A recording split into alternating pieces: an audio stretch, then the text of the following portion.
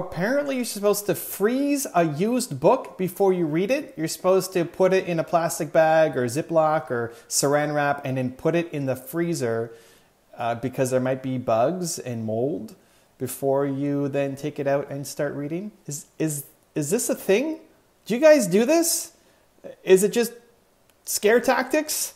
Let me know. Do you freeze your books before reading? Put in the comments.